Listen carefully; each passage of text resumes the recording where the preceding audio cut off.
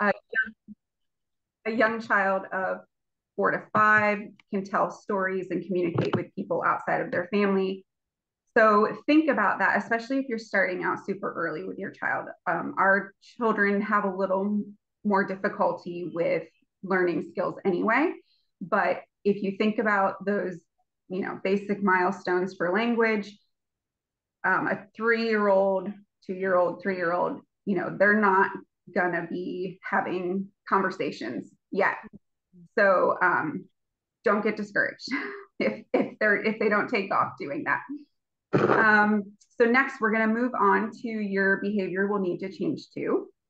So one of our biggest challenges was, you know, Emma had been without a communication device for so many years that we had started communicating with her and learning her communication cues, kind of like what Gilbert was saying about her grandson, you know, rubbing his arm or his leg. We just knew. We knew what she was saying. We knew what she wanted. She used her eyes a lot to let us know what she needed and wanted. So we kind of had to retrain ourselves and not just automatically give her what we knew she wanted and really encourage her to use her device to tell us. Um, because if they can keep doing it the way they've been doing it and still get what they need, then why, you know, why would they try something different? Um, I did want to say that we found that there had to be a happy balance there though, because um, you didn't want to try and force her only to use her device because that really frustrated her a lot where you know i mean when you think about if if someone were to say well now you have to communicate in a completely different way than you've been communicating your whole life just overnight. So it was it was a lot of modeling at first, just us saying, hey, you can use this as a different way to communicate. And once she kind of realized, hey, that's a little bit easier than what I've been doing, then she wanted to use it. So you have to you kind of have to balance it out a little bit. Okay. Um, so like I said, um, if if your child does not yet have a device, I would encourage you to kind of document how you're communicating with your child and how they're communicating with you. That'll just make you a little more conscious of what are we doing before the device, you know, what's been working for us before that. If your child does have a device, then just pay attention, you know, to what you're reacting to, um, how they're getting their wants and needs met, and if you're encouraging them to use that device to tell you rather than just doing what's always worked. Um, patience, you're gonna need a lot of it. Mm-hmm. Um, communicating with a device will require more processing time, especially if they're just starting. So don't give up if they don't respond right away. Like I said, say something and then kind of leave just this empty space, you know, like uh, what movie do you want to watch, right? And you're giving them choices, or you have the pictures on the device, you know, a picture of the, the, the two movies, and they have to choose one. Give them some time. Um, I would say most of the time, Emma might even take a good 30 seconds, especially in like a conversation with someone that she's not familiar with. She takes a lot of time. And so I have to remind people, you know, just let her let her think about it think about what she wants to say. Um, and that can be hard but you can kind of tell if you watch them you know that she's like thinking she's trying to figure out what she wants to say.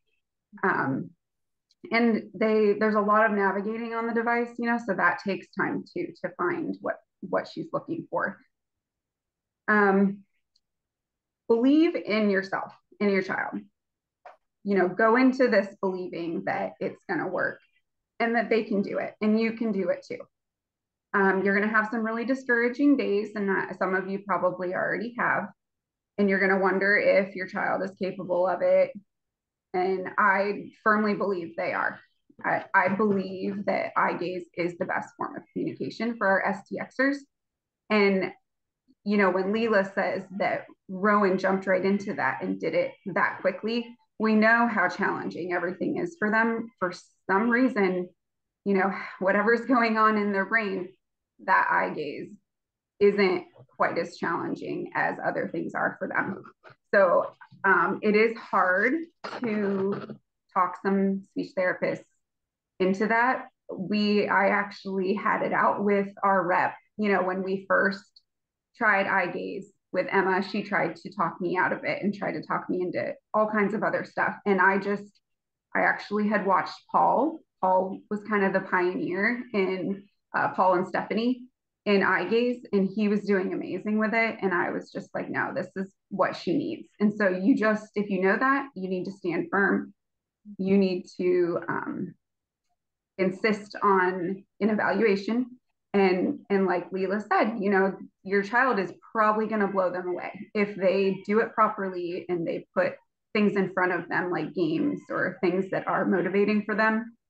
They're going to do really well with it, and hopefully that will be enough to convince them. But but it is it is still a challenge. It's still a fairly new area, you know, that they're not using with kids like ours because they see our kids and they think CP you know, or they think um, a similar disorder that's able to choose buttons or, you know, push a BIGmack. And um, we know that fine motor is just really challenging for our kids. So um, I just want to encourage you to not back down. you know, if, if this is what you really want for your child, you you might have to fight for it, but it will be worth it. Can I just okay. say, can I say one thing about the eye gaze real quick? Um, I the eye gaze like the Tobii Dynavox that I know that that Lila had mentioned earlier, you do have the option of using eye gaze and touch. So it can mm. work either way. So if your child is able to work on touching something, they have the ability to do both with the eye gaze. So that is nice. Yeah, that is nice to keep in mind that you're not it's not strictly just eye gaze. You do have the ability to use touch as well and and that might even um, be easier you know to talk talk them into working with your child with that you know if it's not just solely eye gaze but okay so we're going to move on to start out slow and fun just as you would with a toddler. So it's really tempting not to just jump right in. Um, we just want to be able to talk with our child. We want them to call us mommy and we want to hear their thoughts but using a communication device not only requires understanding the words they hear on a regular basis, informing thoughts or responses, they then have to go the extra mile and find that icon slash word on their device and look at it long enough to make the choice. And then there's also some processing, you know, in the brain that has to happen too to plan that out. Um, I don't know how the, you know, how having changes in the STXBP1 gene um, impacts those tasks, but I'm going to guess it does make it a little more difficult than for most. So just be patient and kind of hold yourselves back um, in the beginning. So when our kids are small, when they're toddlers, we play with them, we listen to music, we read books, the nursery rhymes. We tend to be pretty silly and animated, over animated with them. Um, and we found that that really worked with Emma. And it still does sometimes. You know, sometimes she rolls her eyes at me and she's not in the mood, but for the most part, that still works with her. So um, those things kind of tend to fade away naturally as our our kids get older and language develops. And so when you're introducing this, definitely start out being fun and silly because really that's what matters to our kids the most. Um, so music, rhymes, keeping it lighthearted, the fun games, you know, that they use during the evaluation. I think it's like popping bubbles or popping the balloons. Um, Emma really liked that in the beginning. She never plays those games now because she would rather talk. but in the beginning, she played them a lot, and we let her play them as often as she wanted to um, because that was part of her, you know, kind of building a connection with her device as her own. Um, so another thing is that we kind of had to train ourselves to do was no matter what that device was in front of her. And when you're not used to putting it on their stroller or on their wheelchair, it's easy to just not do it. And I still have to remove it to get her out of her chair and move it to put her in her chair.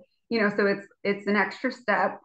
Um, but no matter what that device is in front of her, it's it is her voice, so she has access to it. As long as she's awake, she has access to it.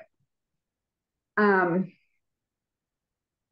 this will also, like if you're doing dishes or, you know, if they're on their own, that gives them the freedom to explore their device too and kind of navigate the different pages and figure out, you know, what is this all about? And and it's a more light-hearted environment, you know, for for them to explore it rather than like in a very structured environment and we're only going to use this for you to say yes and no and let me know what you want you know it's it's just it's a little more freedom for them to do with it what they want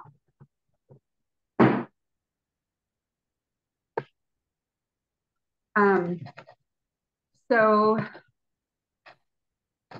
another so at school um in the beginning we really stressed this in her iep you know that they that device would be in front of her at all times.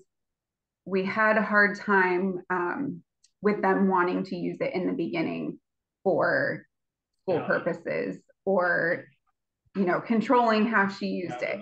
And that and we did too at home and that really caused a problem. Um, she actually went on strike for about a year after we got the device and would not look at it. Um, we we were really really discouraged. So we had to then kind of okay let's let's think about this you know like how how can we get her to use this? And so i would say you know whatever you need to do to make sure school is is doing it the way that you feel like it needs to be done in the beginning you know add it to the iep um, I we, think one of the things I remember with school that they found she really enjoyed was um, that they would let her use it during games. And she would, she also, they let her kind of uh, be the one that bossed the kids around a little bit. um, so they would, she would say, you know, guys, it's time to clean up, or, or, you know, now it's your turn, or, and she really, really enjoyed that. So it's really about hopefully your your school staff will be willing to uh, work with you and kind of explore what kinds of things does she enjoy using this for because one of the things that we did use it a lot for was calendar and she really just didn't enjoy that she we, we would do it but it would we would get to the point where we would just be like yeah we're just gonna we're pulling this up but if you don't want to do it it's okay um you know because it's the way that I thought about it was, you know, there are certain topics that I enjoy talking about, and there are certain topics that I don't enjoy talking about. And so if someone was constantly trying to force me to talk about something that I wasn't interested in, I'm not going to enjoy it and I'm probably not going to participate. So if you can kind of work alongside your teachers and your staff, you know, to try and find those key things that your kid kind of enjoys you know, whether it's bossing around the other kids or, you know, during a game, then that's going to make all the difference for them using it. Yeah, definitely. Um, I think this, they ended up putting like the weather and calendar on the smart board, and she really, really liked the smart board. So once they did that, she was more willing to participate in like, what is the weather today? And sometimes she would choose the opposite of what it was to be funny um, and but she she does usually enjoy talking about the weather. So um, yeah, just like Naomi said, you know, finding something that interests them and making that their you know their task at school and everyone you know listens to what they have to say or and you know sometimes she wouldn't choose anything at all or like i said would choose the wrong thing but it was always like if she did say something, it was acknowledged. They, and they made a big deal about it. Um, we started out pretty slow. We started out with only 18 icons on her device. Um, and we actually noticed that she did better with more when we added more to it. I think that's probably something you're going to have to play around with. Um, because it could be a little overwhelming at first. But I think for Emma, she was just kind of like, you know, she navigated it so well that we were almost limiting her by only keeping, you know, a that small of amount on there. Um, but this is also the same time that we added, when we increased the number of icons was around the same time that we also added music and fun things to it, you know, so maybe that was what really motivated her. But I would say that's something that you're going to have to figure out for your child. You can start with a small amount and see how they do. They may get bored with it pretty quickly though. Um, many um, Allison Allison Smith asked a question oh. in the chat. Um, she said we don't really have a good way to attach Isaac's device to his wheelchair. Are there any resources for attachments? We have a gooseneck clamp, but it isn't good for the wheelchair. Which, oh, yeah, yeah, yeah, definitely. So when we got Emma's, um, you should be able to get it from that company. Who, wherever you got your device from, they should have attachments that would work with his chair. Yeah, I would say if you have a rep that you're working with, our rep was absolutely amazing. Like she she just was constantly answering all of our questions. Um, but she directed us to an actual website from that company that we could we mm-hmm. were able to get, you know, I mean, they just had such a selection of different options for attachments, you know, whether it was floor attachments or uh, you know, tray attachments or for your wheelchair. I mean, it was just insane. The yeah. Of options. It that was through PRC, so I don't know if you use PRC, um, but they have they definitely have a lot more options for that kind of stuff. Um, Allison, I have some other questions for you, so I'll I'll either send you a message afterwards or we can talk about it at the end a little bit more. But I just have some questions about it um, that might help us find an answer for you. Um, okay, so many devices will actually allow you to take pictures with them. Um, if you can't, you can still take a picture and upload it to the device. But we, when we really wanted Emma to start using it, we took pictures of ourselves. We took pictures of the important people in her life and those were put on her device with the, that person's name. Um, we took pictures of her toys, her favorite toys, took pictures of her movies that she liked and her books. Um, and those pictures went straight onto her device because those were things that she recognized, those were things that mattered to her. And so instead of using icons or just a generic, you know, I want to read a book, she had pictures of the books that she really likes to read so she can tell us, you know, which one she wants. Um, I would also suggest using, like, if you have a, a funny name that you call a pet or a funny name that, you know, that people in the family call someone, use that because she just, you know, like our kids are ornery and she she likes that kind of stuff. Um, so I would suggest doing that for them. We also did an opinion page. So that opinion page says, have a nice day. Um, it says, uh, that's dumb. I don't like that. No, thank you, whatever. It's a little bit sassy and she uses that page a lot.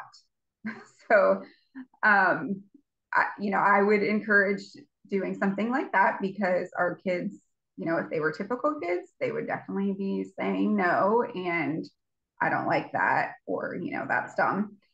Um, and so in the beginning, you really want to just keep those pages basic and things that they will recognize, you know, like the pictures of family members.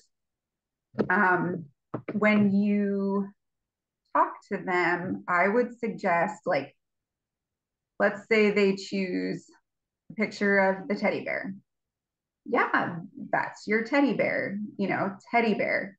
Just saying, repeating what they say so that they know you heard them, you know what they're saying. Maybe go pick up the teddy bear and bring it to them. Do you want your teddy bear? You know, have a full blown conversation about that one choice. Um,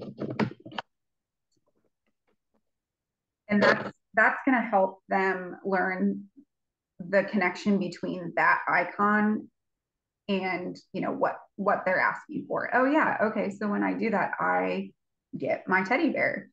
Um and you so when they do choose to say something and in the beginning emma just kind of would randomly say things. Always always acknowledge that they said something. You know sometimes she would choose a lot of things that didn't really make sense but we still we still made a big deal about it. Um, Naomi was really really good at figuring out what she actually meant, and it usually did have something to do with you know something that was going on at that time. Um, but just always acknowledge if they say anything at all. We actually um, went a little overboard in the beginning, you know, and made a huge deal about it when she would say something because we were just so excited that she was using the device. Um, and so again, just repeating back what they say, you know, and having basically having a conversation about whatever it was.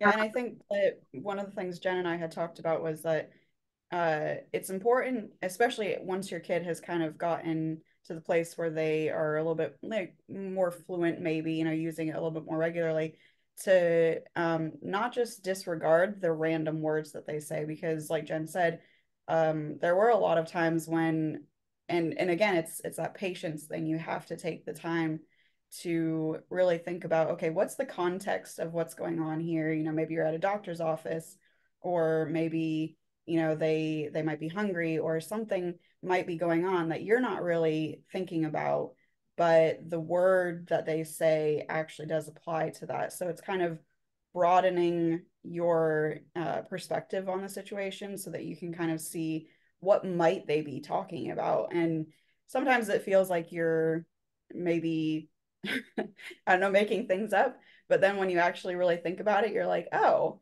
that actually makes perfect sense. And you're just really excited because they actually used a word in context that you just hadn't noticed for yourself. So uh, just don't ever, like Jen said, don't disregard anything that they say. Like even if it doesn't make sense, um, sometimes I think she just is experience or experimenting with new words, and that's awesome too. You know, even if that's all she's doing.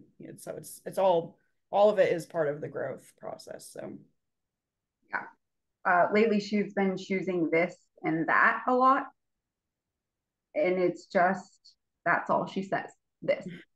And i don't know what she means by that but it obviously means something to her because she keeps saying it. And so i'll just say you know if we're in school and her teacher has you know a book i'll say yeah do you mean this book? you know? And I, I don't know if that's what she means, but I'm just showing her what that could look like in a sentence, you know. So, or in when she's talking about something that this and that are typically paired with something else. And I'm not, you know, teaching her that the way that we would teach another typical child that, but by modeling that for her, it it is teaching her that. And so hopefully she eventually starts pairing this and that with you know whatever she's talking about.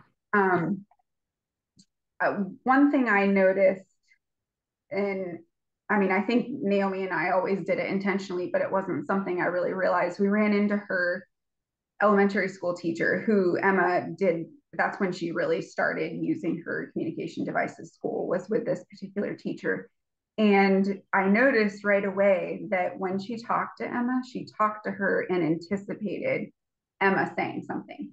So, like if we run into someone we know and we say hi to them, we act like we expect an answer, right? We we don't expect that they're going to ignore us or they're not going to say something worth um, hearing. And so when this teacher talked to Emma, she talked to her like she she knew she was Emma was going to say something. You know, she assumed that Emma had something to say. And so that is one thing that we have always done with her. If we talk to her, we wait like we're expecting her to say something to us. And all of the people that she, her doctors, you know, whoever it is that she chooses to communicate with, it's because they waited during that waiting period after saying something to her. They made eye contact with her. They were engaged with her, and she knew that they actually cared about whatever it was that she had to say. Um, other people who are a little bit artificial and, you know, not very genuine about like saying something to her and then just kind of like going on to the next thing, she will not talk to those people. And sometimes it can be a little frustrating, but at the same time, I can understand why she doesn't. So it, it is important to to to let your child know that you know that they have things to say and you are really interested in whatever that is. And I mean, we all are, but you know, just thinking about those nonverbal cues if we're like busy doing something or just slowing down and and making sure, you know, that they know that you are you're with them. Um, we all know that our kids love a reaction. So when, like I said, when they choose to use their device, especially in the beginning, you're gonna lose your mind and you're gonna overreact and you're gonna act like you just won the lottery. um, even now, every time Emma says mommy, if I am across the house, like I come running. And she knows that when she says that, um, that it's gonna get a reaction. Um, and she she doesn't overuse it, even knowing that. But when when she does use it, she's looking at the doorway when as I come in, like I knew, you know, I knew that you were going to come and I said that.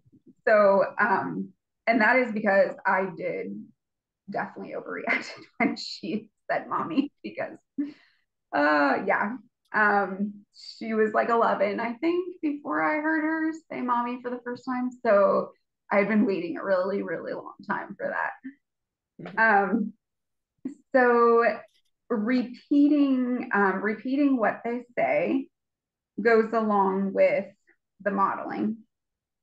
As I said, um, so you know, like if if your child isn't yet using their device, you pick up one of their favorite toys, um, find it on their device, you know, say what the toy is, push the button um, to repeat so that they can recognize that toy goes with that picture on my device.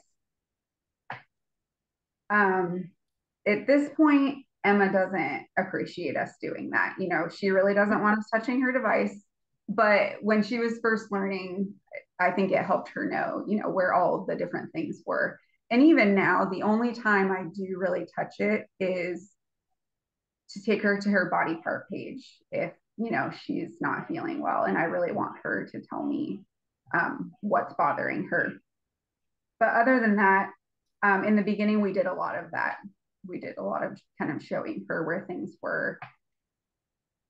Um, there are, to go back to the reaction, uh, there are some things that she says or does that she knows annoys me. And that's because she wants that reaction. And so even though it's annoying, um, I give her like a playful, annoyed reaction, which she really likes. And that's like our little back and forth like teasing and game and it's a form of communication right so it helps me know um, her personality she's obviously in a playful mood and um, it's just kind of this fun little thing that we have with each other. So um, okay so let's move on to make the device your child. Um, emma was using her device fairly well when we discovered her love of men with deep voices. And so we had a little girl voice on her device, and all devices have this, so you can play around with the voices, just like you can on a GPS. And so we found a deep man's voice, and we were like, let's try it. and I actually found the video of our first time trying it with her, and she was like, play, play, play. And, and Naomi and I were losing it. Um, and she actually did start using her device more after we changed it to that because she liked the deep man's voice. And so to this day, she still has a deep man's voice on her device. Um, so you know, think about that kind of stuff. Uh, play around with the voices. I love it. I love yeah. it. I love it. Um, you can play around with the voices. Cool.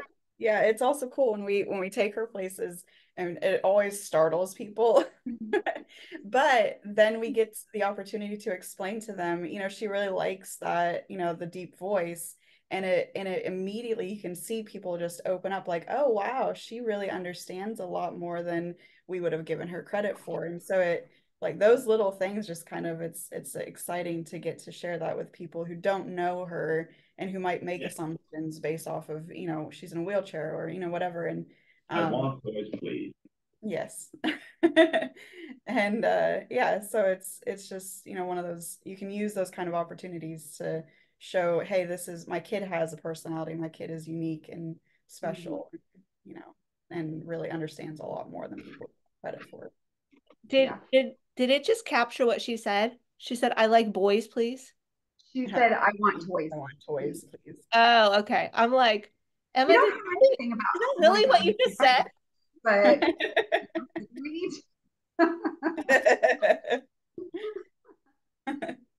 um, raccoon, giggle body. Raccoon. I love it. Yeah. I love it, Emma. I love it.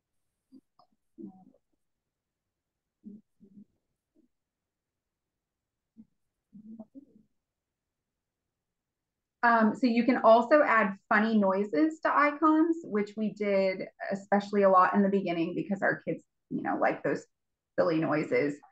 Um, you, you know, you could do different noises with yes and no or stop none. and go. Um, none. You don't have any. Have a nice day. um, so and and then they'll learn you know that that particular sound is associated with you know that choice. Um, but that is one way to kind of encourage them to use their device a little bit more too. You can um, change the size of the icons and the cursor. That was um, one thing that uh, naomi picked on that, that picked up on that the cursor was pretty small. Um, it used to be just like an arrow i think right? A little arrow. And so they we changed it to a red hand and she was able to see that a lot better. Yeah. So that's another thing to pay attention to is the size of the icons and the cursor. Song. Song? Play a song. song. Um, you can change background color, and then as we that. said, you can that. Yeah, that. that. You like the background color change? You like that background color? Um, like we said, you can use real picture or pictures of actual items in their environment instead of the stock icon photos. Um, whatever helps your child claim this Have device nice as their voice um, and as their own and aids them in using it to communicate their wants, needs, and thoughts. I want toys, please. Um, Giggle Monster. You have it. You have it right here.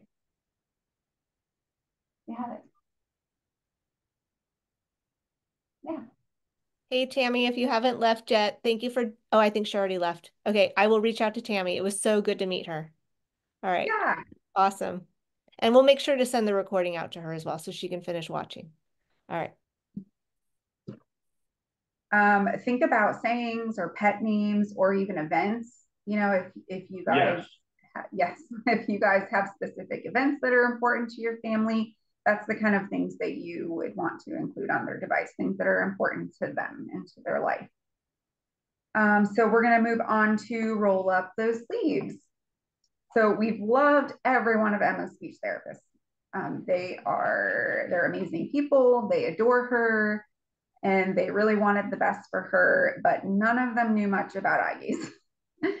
and um, some of the tactics that a couple of them used were actually a little bit harmful. Um, so they, you know, especially in a school setting, the speech therapist, you know, they're nice they're on day. a timeline and they're very goal oriented and they have, you know, specific things on the IEP that they're working on And so they they get a little bit pushy, you know, they they want to be able to check things off their list and say that they met that goal.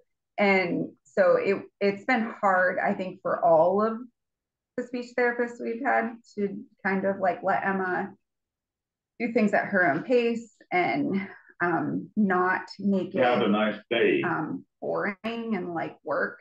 And so um, some of them have adapted really well, and others had a harder time with it. But I mean, we still they, they were great people, but it just you're probably gonna have to definitely communicate things to them. You know, if you feel like um, your child isn't really progressing well with them, you might want to, you know, talk to them about what, how are, how does the session look, you know, with your child? How are they working on them using their device?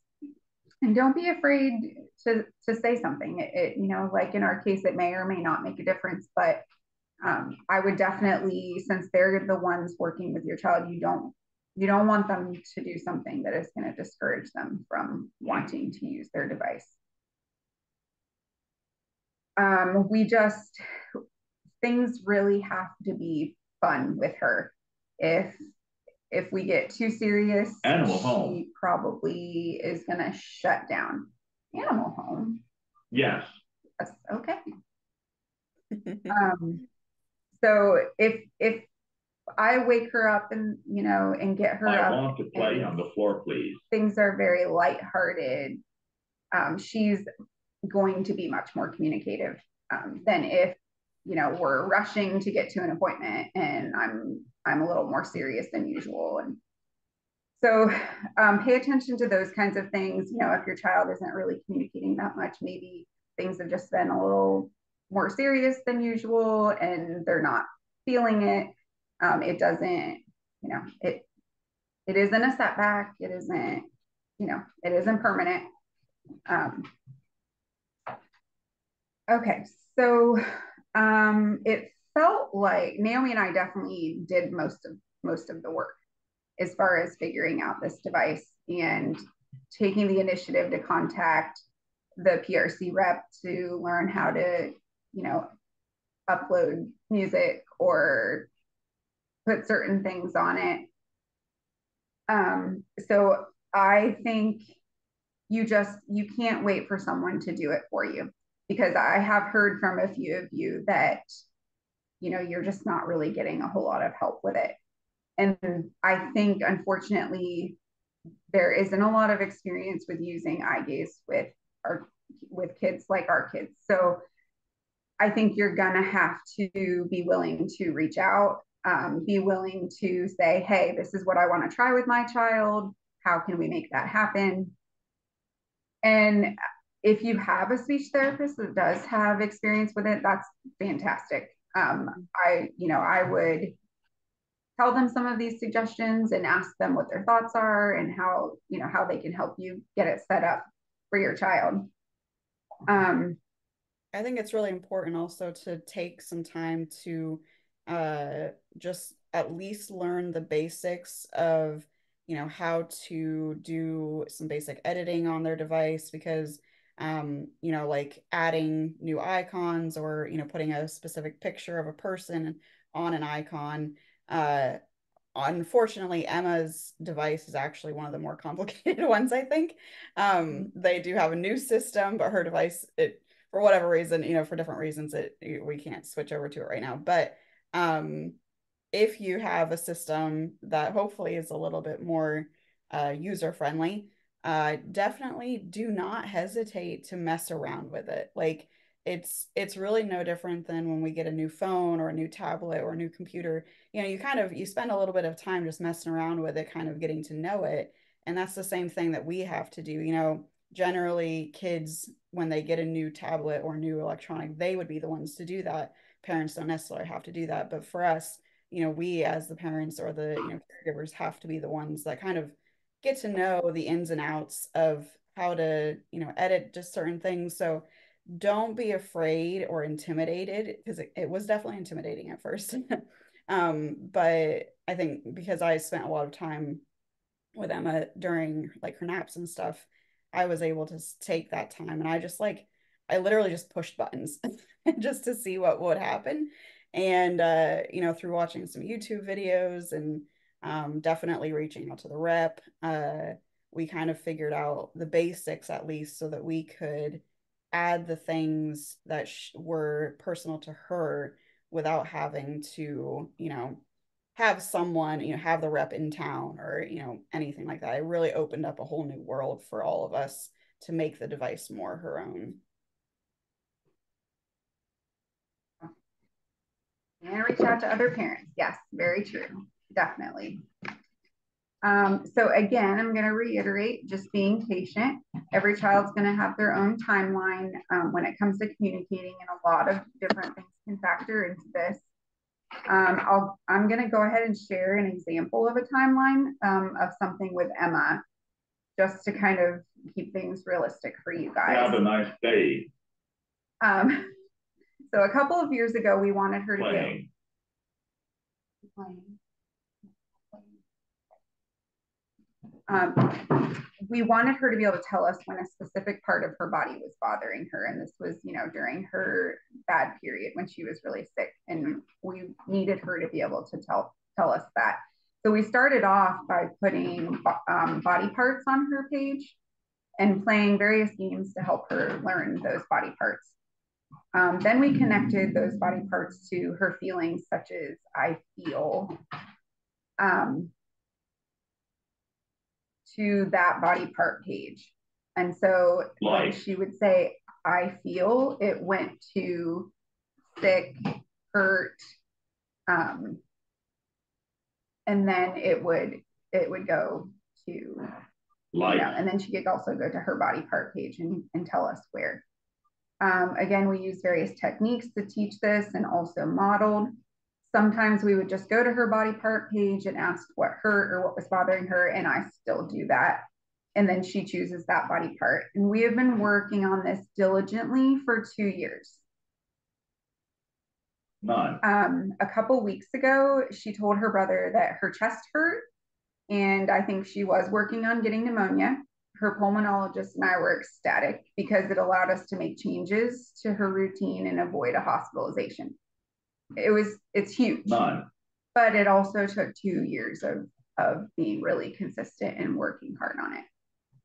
So when you start to wonder, you know, why isn't my child picking this up? Um, is it are they going to be able to pick it up? Yes, it's just going to take time. Um, and hopefully, you know, they give you um, some little bits of encouragement along the way. You know, when Emma learned those body parts, and was able to accurately identify them you know that was encouragement for us to continue. Okay you know we just need to keep keep working on this. Um and i imagine hearing that is probably both hopeful and daunting at the same time. Um but you've also seen the stories i've shared of things that she has said. And um, every second of work has been worth it um, you know, for that one moment for her to be able to avoid a hospitalization, you know, because um, she told us that her chest was starting to bother her, um, is very meaningful, very meaningful. So I promise that's, you it'll be worth it. That's incredible. I mean, yeah. that's absolutely incredible. Yeah. I mean, that's what most of us want our kids to be able to tell us, right? Right. Yeah. Yeah. Right. Um, and so for our yeah. last section, we're going to go to the tech tips.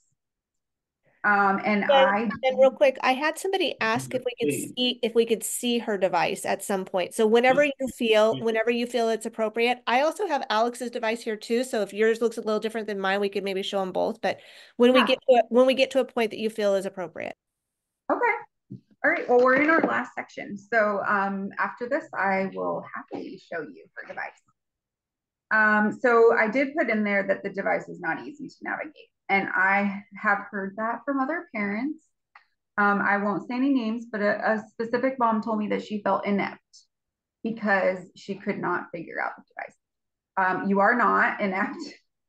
I um, both of the devices that we had for Emma was pretty challenging, and I still am clueless, which um, Emma takes advantage of frequently and just enjoys watching me struggle.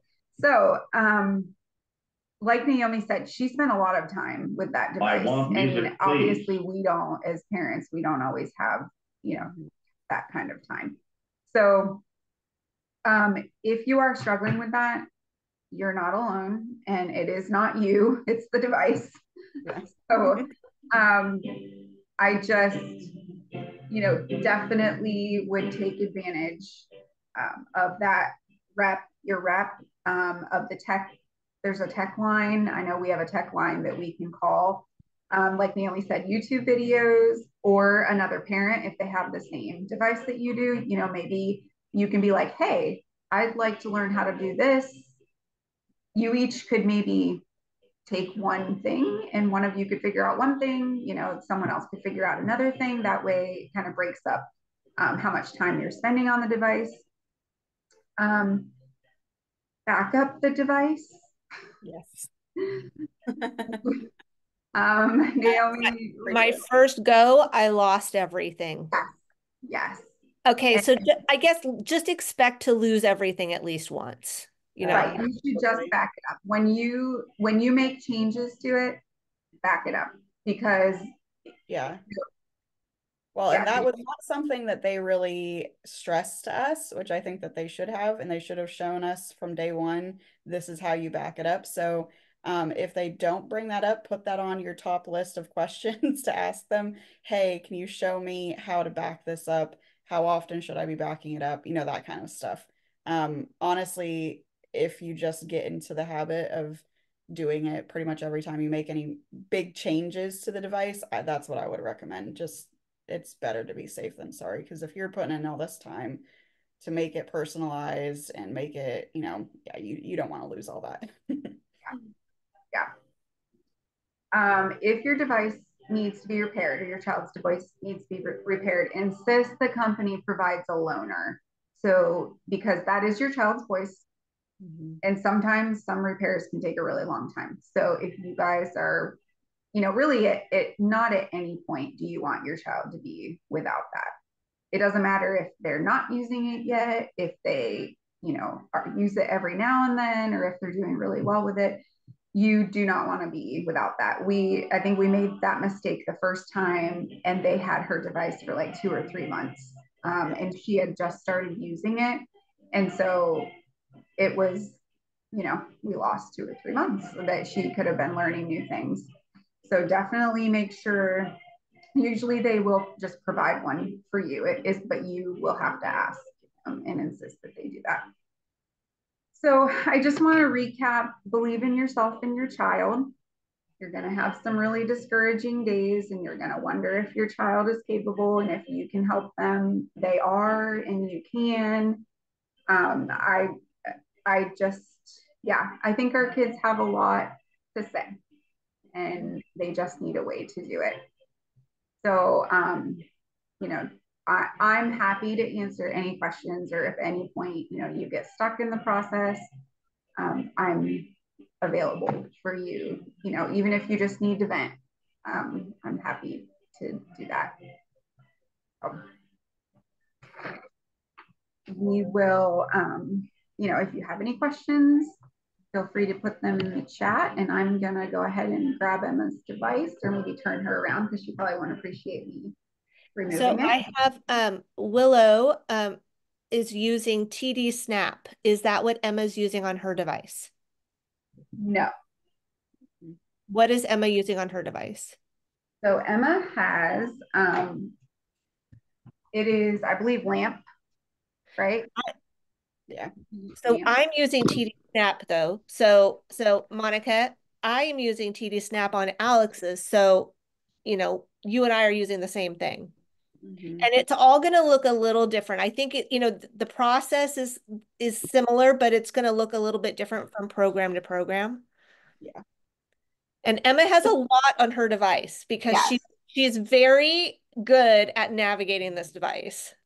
Yeah, so this is her core page, and every single one of those icons takes her to another page, and some of those pages take her to even another page. Um, so she is like I would say just recently, um, she is actually starting to put two books together.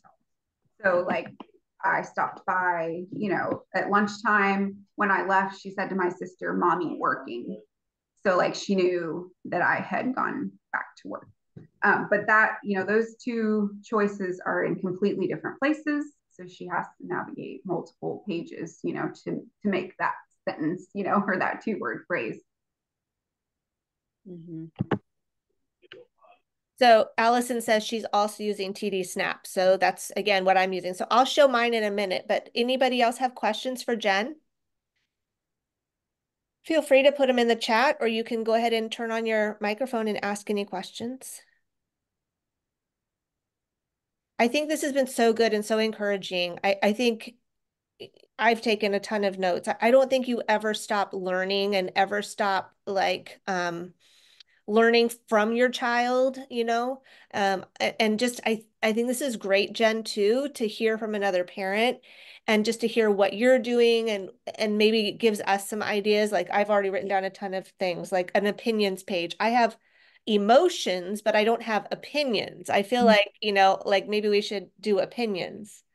Um and then be a little bit passive yeah and i love the idea of noises because alex thinks certain noises are hilarious yeah. and i'm already thinking about what noises i want to add on there and there may be one or two that are not appropriate. I'm just saying. So, but he's gonna think they're hilarious. He, right. It's probably gonna be his. It's probably gonna be his favorite thing. So, looking forward to adding music and noises, especially um, to animals. Oh, that's a good idea. Um, animal noises. Oh, that could be funny. Yeah, that could be funny. Yeah. So I'll just tell you when Alex. I'm going to say this as nicely as I can. When Alex passes gas, and makes a noise, he thinks it's funny and he laughs. OMG, this is going to be so funny to add to his device. He's going to be cracking up. Oh my gosh. Go, Lila. One of the devices that we looked at yesterday, it was one of the Windows based. So it had the games on it. And one of the games was fart sounds. Yes. And you press the buttons and it makes all the different fart sounds with the little block. Yes, yes, we tried it too. And you know, Alex really didn't like it, but maybe he wasn't into fart sounds at the time. I think that's another thing is what is your child like now? And that doesn't mean it's going to be the same a year from now. You might have to change it up, right? So at the time, I don't even think he was like into fart sounds, but he definitely is now. So I'm thinking that could be appropriate. yeah, and I found out with those devices that the ones that are like Windows based versus iOS based. Some like the Windows ones have the games, but the iOS based ones don't. So even though the software is the same and the brand is the same, if it's Windows and Apple, because of all the different contracts that these people make up. So like we're not getting any of the games, but it doesn't seem like he cares very much. But he does love the sound effects, and I've got to figure out how to do that when we get the new device. You'll be able to do the sound effects. Definitely. Um, Alex asks, do you think that an STX can benefit more? So an STX child can benefit more from eye gaze. Tyson's speech therapist always says he's able to use a regular AAC, but his tapping isn't always strong enough to tap on the icon. Can I can I answer this? Um, so I'm going to unblur myself because Alex, I want you to see Alex's device and um, you're able to do both eye gaze and tap on his device. So here's, I don't have as many icons as Emma. Okay. Alex does not have as many, but I can look at this or I can touch it. Morning. And then when I, uh, when I touch it, then, so here's the thing. Alex was never good at, at pointing. He was never good at touching until he got his eye gaze device. And now he has a reason to touch something and he tries so hard. I have to kind of steady his hand. But when I steady his hand, he is very sure of what he wants to point to. So he never had that um motivation to point towards anything until we got the device. So I think that if you get an eye gaze device, it can be used as both, and it might be the encouragement that they need to help them to point. It, that's what we've seen. Alex wants to point now. He sticks his hand out. He grabs my hand to help his hand. He wants me to help him, and I love it. Like he didn't do that before. Um, but he sees that it's a means of communication now, and he didn't he didn't understand that before. Mm-hmm. I think that's awesome. The SLP told us yesterday that when you're looking at the devices, if the ones that come with the eye gaze and the touch, you can get it that way, or you can get a touch with the key guard, but it's an either or. So you can't get the key guard and the eye gaze with the. It's this weird thing. And I'm like, we don't need the key guard. I want the dual thing because we didn't have that on his old device. It was just the touch. I Uh, feel I feel like though, I Jen, I feel like you helped me one time or, or or you looked into this one time. I think there is a company that will make custom key guards. I think there's a company out there that will make the cu like custom ones. You tell them what device you have, you tell them what how many icons you want, and they'll make the custom key guard. It, I see I see Megan shaking her head. There is. Um, Yeah. we when we were originally looking for something for Jamin with our um, speech path from through birth to three, which is our early intervention in West Virginia, we had requested an app. Um, and our speech path, uh, she knows a company. You have to submit your screen size, your device, the um, like if you have a protector, you know, a, a case on it, the brand of that um, and then a screenshot of what your homepage looks like, and they will fabricate a um, a key guard for you. I can get that website and I'll send it to you, um, Melissa, if that's okay, and you could distribute it to whoever wants it. Um, yeah, I wanna, awesome. yeah, yes, please, please do share that. Um, Alex, I want to go back to what you said too, and and one thing I would say to that speech therapist is that we want communicating to be as as easy as possible for him because we want him to want to do it. So, you know, even if he can push, you know, make choices with his hands, if he's not, I mean, think about how frustrating that would be if he knows what he wants, but his hands, and we already know, you know, the brain and the body with STX, STXBP1, they're not communicating with each other, you know, normally. Yeah. So he knows what he wants and he's trying to push that and his hands just aren't doing what he wants it to do, then he, if he had that eye gaze option as well, he can still make that choice. And that should be happening for him because if he gets really frustrated, he's going to stop using it. And we do not want that to happen. So that is one thing that I would say to that speech therapist. Yes, insurance, if the school paid for that, that means that that's not really your device, right? So it's like if he ever leaves that school, he probably won't be able to take that device with him, I would guess. Um, Yep. so yeah, so I, yes, I would be wanting your insurance to pay for one. So that is his device. You can do whatever you want with it. It goes everywhere with him. Um, and uh, yeah, that's what I would do. And I would insist that they do the, the eye gaze and the being able to touch. I was a way a way to get the eye gaze though is to say that they have poor motor planning. It's the motor planning that's the problem. That's why the eye gaze is preferential. Yeah. Yeah. also this is what I said. How do you communicate? Look at me right now. How am I communicating? I'm not just speaking, I'm using my hands. I might always also look at something. I might reach out and touch something. We all communicate using different modalities. It is no different for our kids. They're using eye gaze. They might want to point. Why not give them the option to do as many modalities as possible? So why would we limit them to only using their their pointer finger when we know that they could possibly use the eye gaze as well? I, I just I don't think you should limit them. And if there's any, uh, the other thing is, and I I know Alex uh, um, with Tyson, I don't think you guys have uh, a diagnosis of epilepsy, but I but anybody who does have a diagnosis of epilepsy, the seizures are going to change their Yeah. abil- their ability to be able to do things. So right now, they might be able to use their finger, but if they have a, a whole bunch of seizures, it might they might they might lose that ability for a little while, you know, or or it might just be a little bit more difficult because the brain's just not working at the at the speed that it needs to because of the seizures. So I think just stating that you need a mo- multi-modality ability for your child, you know, I think they shouldn't argue with that.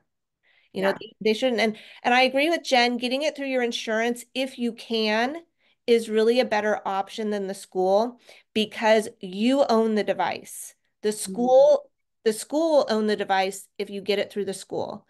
Um, it is not easy to get it through insurance. We were able to, and I know others have been able to, and we're happy to share our experiences with that. Um, in fact, the next question is any experience with medical covering the cost of a device? Yes, we got it covered. Mhm. Anybody else? Yep, we did. Medicaid uh, paid for Emma's. Yes. They just told me it's gonna take four to six months this time around for us. Yes. But that we'll have a loaner device for that time period. Well, that's good. You'll get a loaner. Yep, Okay, that's good. We had a loaner while we waited for Emma's as well. Yes. Yeah. Yep.